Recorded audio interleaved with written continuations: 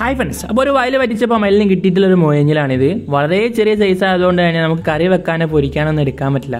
അതുകൊണ്ട് തന്നെ വീട്ടിലേക്ക് വളർത്താൻ വേണ്ടി കൊണ്ടുവന്നതാണ്. അപ്പോൾ വയൽ വറ്റിക്കുന്ന സമയത്ത് മറ്റ് മീനുകളൊക്കെ ചാക്കിലാക്കിയതിന്റെ കൂട്ടത്തിൽ ഇതിനും ചാക്കിലാക്കിയിട്ട് വെള്ളമില്ലാതെ കുറേ നേരം വെച്ചതാണ്.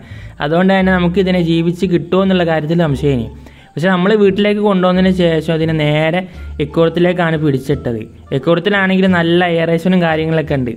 അപ്പോൾ നമുക്കൊരു ചെറിയ പ്രതീക്ഷ മാത്രമേ ഉള്ളൂ ഇനി. പക്ഷെ മീനാണെങ്കിൽ നല്ല ഫുഡൊക്കെ കഴിച്ച് നല്ല ഉഷാറായി വന്നിട്ടുണ്ട്.